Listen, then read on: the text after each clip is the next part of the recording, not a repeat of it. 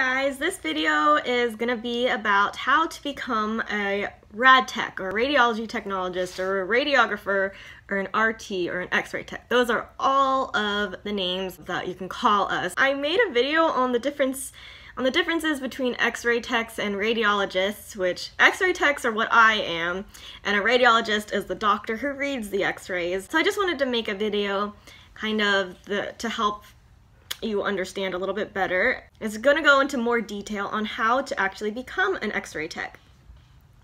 So I'm just going to focus on the x-ray tech. I'm not going to talk about the radiologist part. Taking x-rays is not just being a button pusher. You have to know how to position the patient correctly. You have to have patient care um, experience, so actual experience working with patients, you can't just learn everything out of a book. Also, when you go to school, you will learn that taking x-rays is not the only thing of a x-ray tech's job description. There's like a lot of different things that you have to do. It's not just taking x-rays. but I don't want to scare you guys. I made it through and so can you.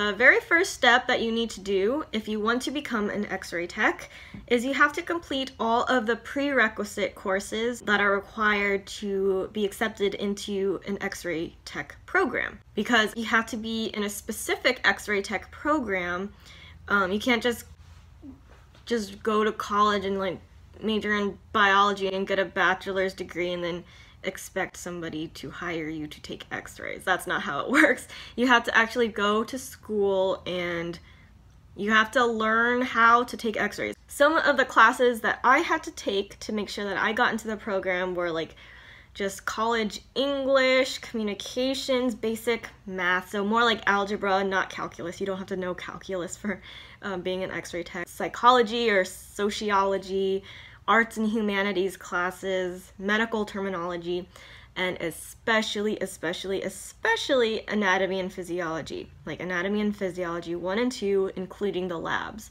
I was an overachiever when I was in school.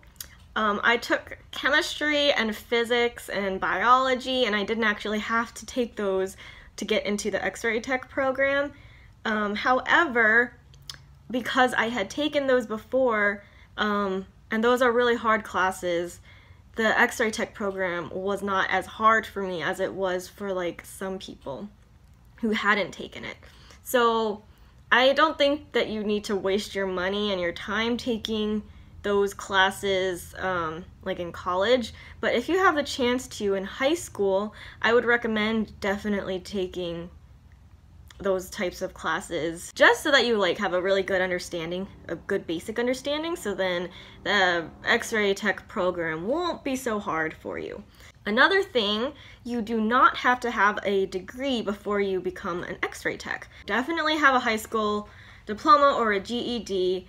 Um, you don't have to have a bachelor's degree to get into the X-ray tech program because the X-ray tech program is normally either a certificate degree, an associate degree, or its own bachelor's degree. But the most common radiology technology degree is an associate's degree, and that's what I had.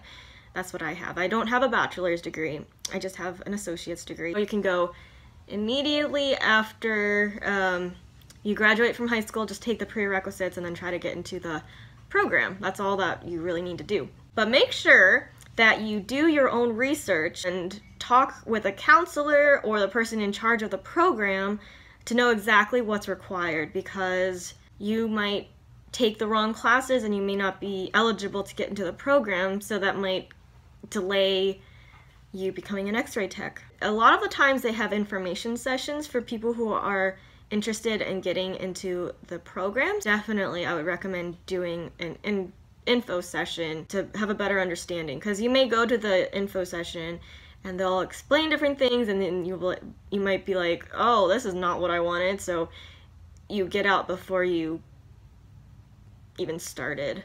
So you don't have to quit in the middle of it if you really realize that this is not what you want. If you are really interested in looking into a program, it's usually going to be at a community college or a private institution, sort of like the Pima Medical Institute, or universities. Some universities actually do give you a bachelor's degree, some of them do give you an associate's degree. And certain programs have a wait list, while others are have a competitive point system.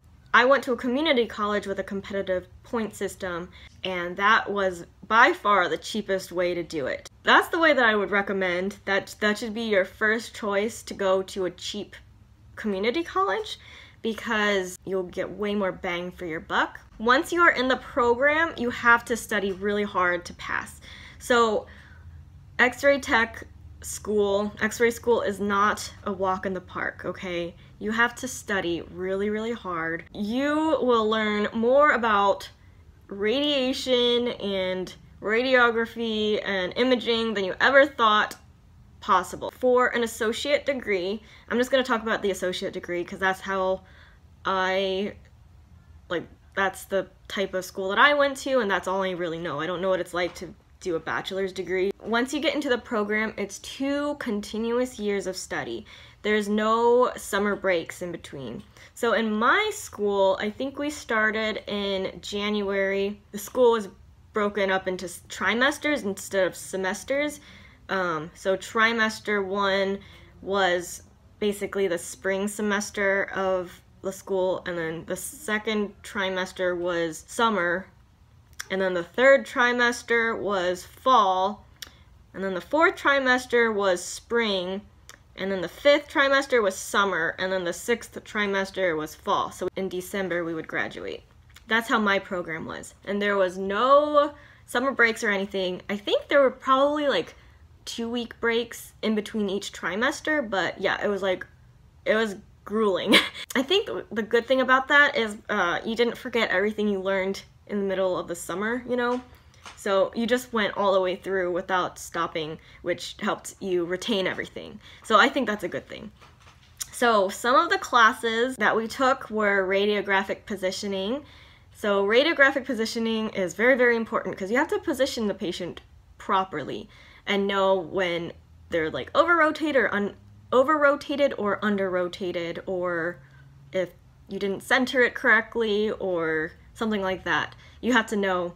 So that was a very important um, class. We had to learn patient care, principles of radiographic exposure, radiation physics, radiobiology and radiation protection, pharmacology and drug administration, advanced imaging, which we learned kind of about the different um, things like ultrasound, MRI, nuke med, CT, mammography, DEXA, different things that we could learn after graduating. And then there's practicum or clinicals where you actually go to a hospital and work. They get free labor out of you. You work as if you are an x-ray tech, but you are a student and you have help from all the x-ray techs at that hospital. Um, and they teach you all of their little tricks and everything and um, that's where everything kind of clicks where you actually understand what it's like to be an x-ray tech and um, get your actual real life experience so th that's like very very very important and then we had a class at the very end called registry review it's entire it's an entire class at the um, in the last semester where we reviewed for that big registry once you're finished with your with your school schooling, you take the registry, and you have to pass the registry. Um, if you don't pass the first time, you have two other chances to pass. But if you don't pass, then all of your school is for nothing um, because you can't be a registered x-ray tech, so you won't be able to get a job. So, the big registry is, it's called the American Registry of Radiologic Technologists, ARRT registry exam. So this is a very, very serious exam that you take at the very end. There's about 220 questions on the test, and it's like a four hour test, but 20 of those questions don't really count. So it's basically 200 questions that actually count, and you need to get a 75% or higher on the exam to pass the registry. I think most of the people in my class passed on their first try. You just have to remember everything you learned in the past two years of schooling. It's not too bad. I don't want to scare you guys. Once you pass the registry, you apply for a license in the state that you live in, and you usually don't need to do an extra test for that. You just have to prove to them that you took the registry and you passed the registry exam, and then they'll give you a license. It just takes kind of a couple of weeks or a month or something. And then once you are officially registered and licensed in your state, you can apply for jobs and it is really easy. I graduated in December of 2019 and then I got my first job by, you know, February. I, I think I got hired at the end of January and I started working on um, in the beginning of February. Um, so right now I work at an urgent care and I actually prefer working at an urgent care anyways. A lot of people just want to work at a hospital because you get paid the most at a hospital. You get paid like the least I guess at an urgent care or outpatient setting. Don't be discouraged if after you go to school and everything you don't get a full-time job at a hospital because working at an urgent care gives you experience, working at an outpatient clinic gives you experience um, just working anywhere gives you good experience. Um, and you may find that you don't even want to work at a hospital. I really like the field of x-ray and radiology technology and I hope you guys um, found this video educational and it gave you a lot of information and I hope that you make it through and become x-ray techs. I feel like that would be so cool. Well, thank you guys for watching. Bye.